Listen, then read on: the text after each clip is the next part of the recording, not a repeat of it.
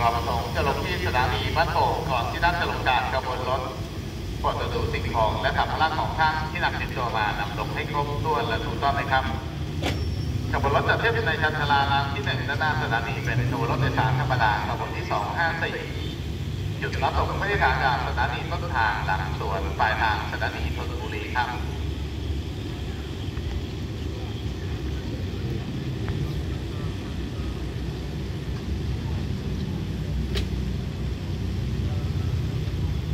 รถโดยสารธรรมดาขบวนที่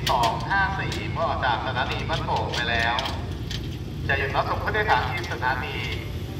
ชุมทางหนองปลาดุกคลองบางตาลคงมะเดื่อนครปฐมเป็นสถานีต่อไปตามลำดับครับ